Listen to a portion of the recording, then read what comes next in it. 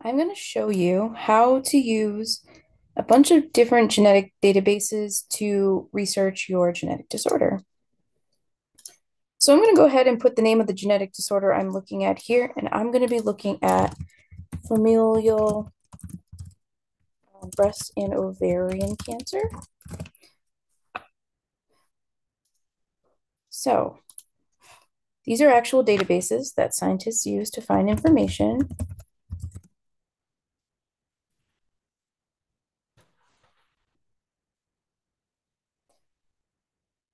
So you may come up with a ton of different resources. You're going to want to find the one that best describes the gene or the disorder that you're looking for. If you don't know, click on a few until you find one that you like. I'm going to click this one because I know that BRCA2 is the one that I want, but you probably don't know unless your research has shown you that so far. So I'm going to go ahead and close those external links so I can get the information that I need.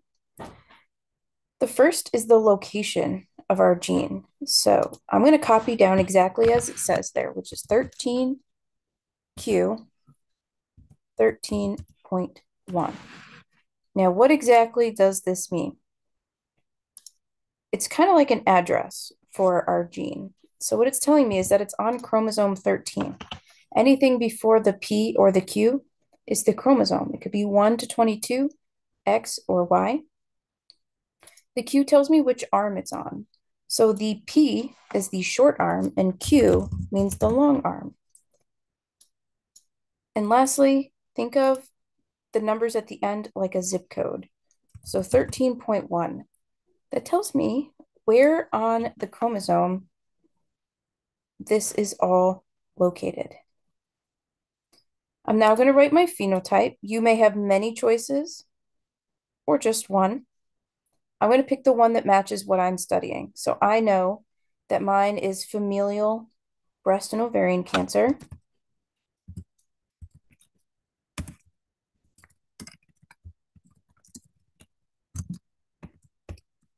But it could also be prostate cancer, pancreatic cancer, um, glioblastoma, medulloblastoma, Wilms tumor. So these are a lot of different cancers is what I'm seeing. But I'm going to focus on this one. And then I'm going to write the inheritance type, which if I hover over that tells me that it's autosomal dominant. If you don't know what that means yet, that's okay. It's going to come up at a later time.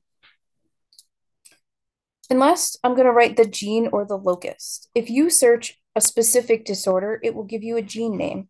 Since I already searched for a gene, I know that mine is BRCA2.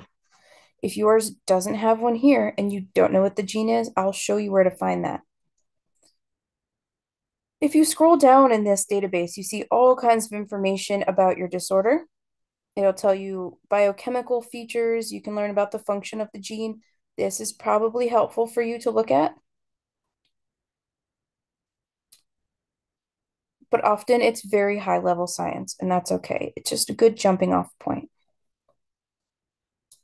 Here, you're going to put an image of your chromosome. I'm going to show you where in the database you can just grab a chromosome image or you can use it as a reference for drawing. You can also look this up if you would like. So now I'm going to go back to these external links. And let me show you real quick what's in here. Yours may be on the far right if you are using uh, full screen. We can learn more about the DNA. We can learn about the protein. That's where we're going to go. You can learn about different clinical trials going on you can learn about different variations. You can learn about animal models, cell lines, so on and so forth. Not every page will have all of these choices. We're going to go to the one called UniProt, and this is important information about our protein. So the name of the protein for the BRCA2 gene is breast cancer type 2 susceptibility protein. That's quite a mouthful, and I'm going to type that here.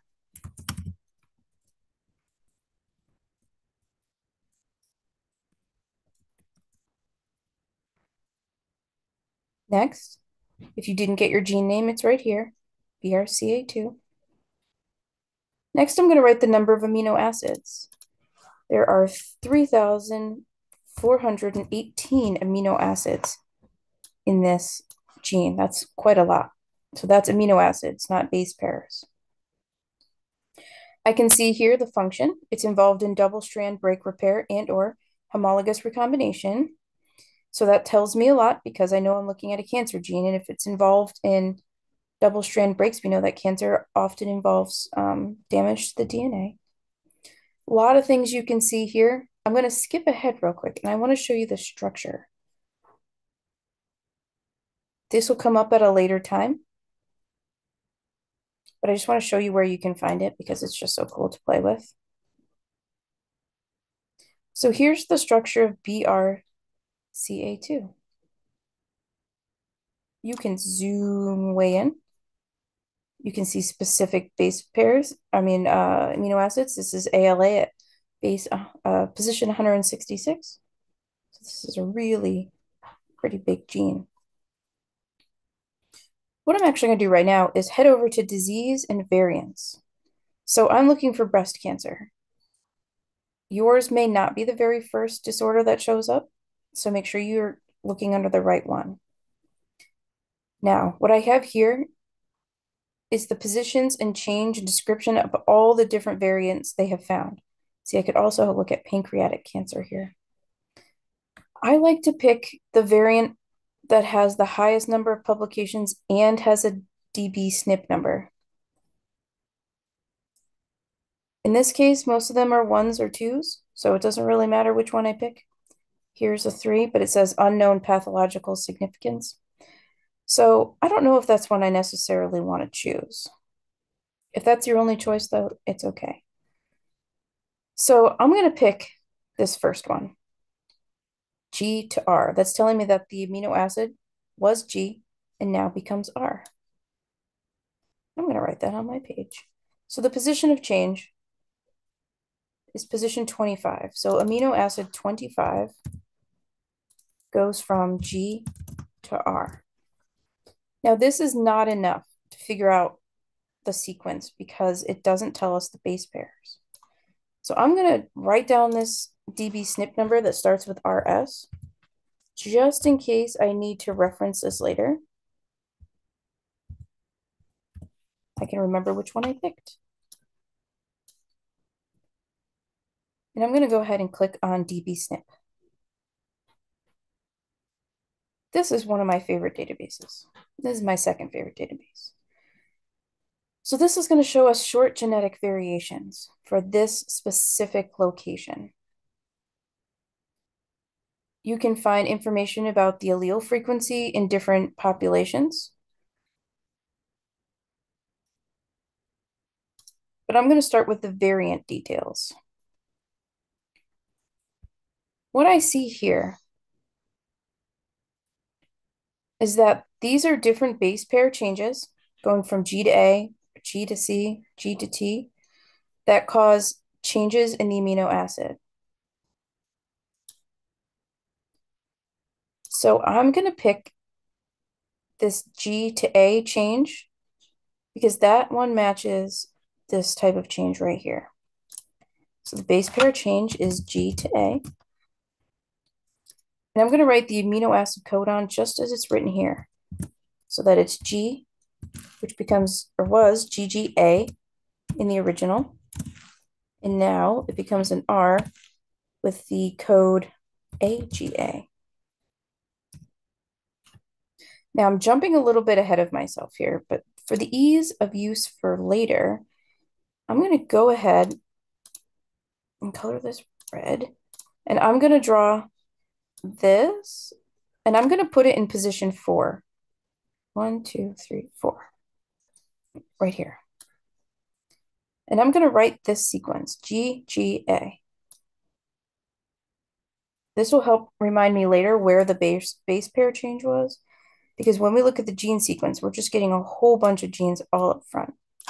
Because I really want to make things easy, I'm going to highlight where this change is. Right, so I had GGA and the change is AGA. Okay, put this guy back in the corner. All right, so here's where it gets a little confusing. We're going to go back to the frequency and we're going to scroll past that. I'm going to make this bigger. And now we're going to see a whole bunch of information. I want to zoom in a little bit. Okay, now that I've zoomed in, I can see my gene sequence. And I'm just going to center this to make it easier. So again, GGA is the normal sequence. GGA. And when it's altered, it's AGA. So what they're going to give you is the normal sequence. Let's make this easy on ourselves, and we're going to screenshot about 15 base pairs on either side of the highlighted one. The highlighted one is where the change is. In my case, that's the first pair, uh, the first base of a triplet, but that doesn't mean that's true for you. So you need to make sure when you write these out, you're doing it correctly, or everything's going to be off.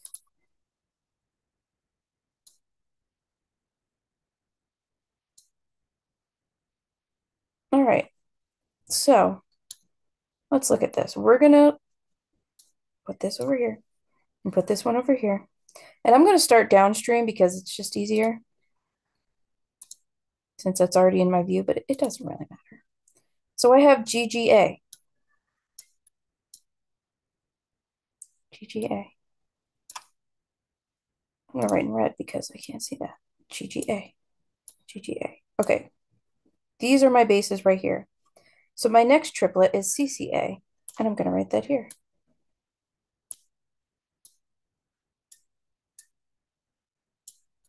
Again, forgive my terrible writing. And then ATA.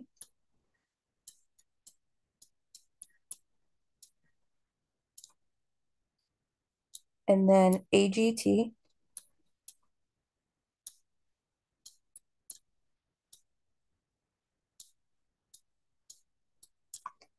AGT, and then CTT.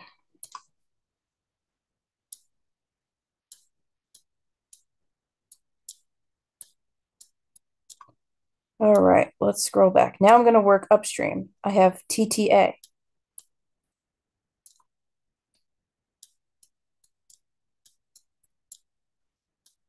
TTA. Oof. I have AGA. No, GAT. So I have to draw it. Now make sure you can tell the difference between your G's and your C's. G, A, T. And then above the GAT, I have ATA.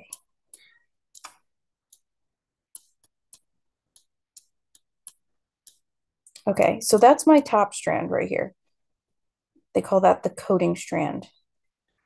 So I'm going to focus on here for a minute. Now you can go ahead and make your template strand. So that's the opposite strand of DNA. So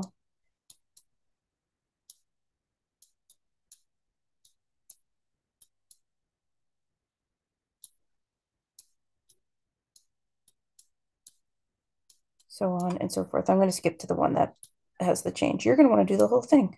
Your change may be different than mine. Okay. Now, what I want you to understand is when you're translating for the mRNA, you're translating this. That's not what we want. You're translate you're translating this strand right here. It's where to highlight all kinds of weird stuff. Okay, whatever. We're translating this stand strand. All these weird marks to go away. This one right here. That's the one we want. And that's what's going to go. We're going to put the mRNA here. So we know how to translate mRNA. Let's go ahead and write that in. So TAT, we know that T's go to A. And A, because now we're in mRNA, goes to U. And T goes to A. AUA. Again, we're going to skip to the mRNA for the one we want. It becomes G, G, A.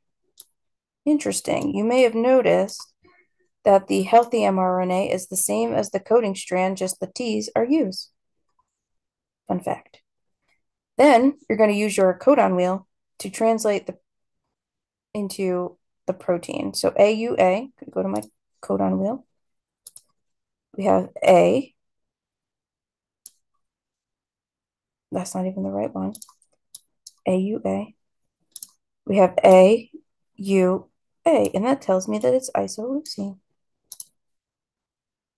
And you can write that here. Wow. Okay. TGA. You're going to do this for all of them, not skip around like I am. It tells me that it's glycine.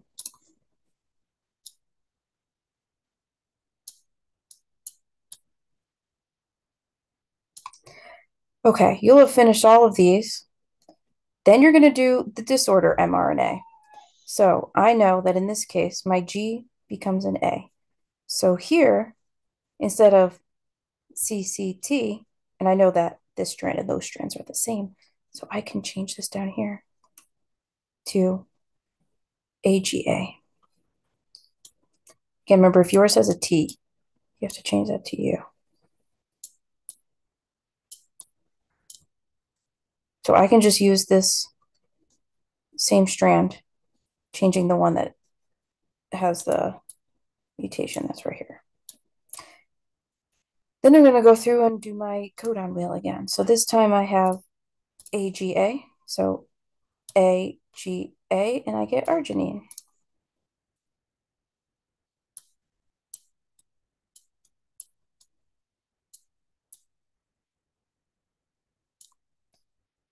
You may have a deletion or an insertion, so this might change. So be careful that you're copying the sequence correctly based upon what kind of change you've noted here. So I'm going to set this aside for a minute. I'm going to go back and show you where to get a picture of your chromosome by DNA sequence. Okay, one of my other favorite databases is one called Ensembl. If I had to pick, that is probably my actual favorite.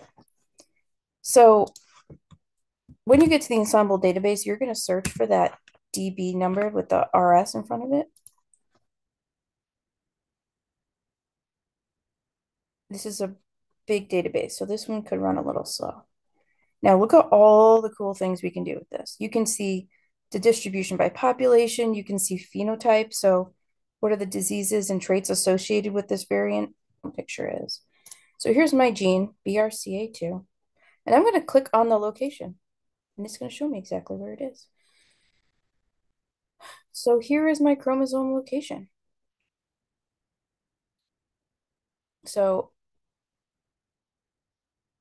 we can see chromosome 13, um, and I'm on the Q end down here. A couple interesting things I want to show you on here. So if I go back to my gene, you can also find um, alignments. So we could see how close we are to the mouse, how close you are to any species you really want to see.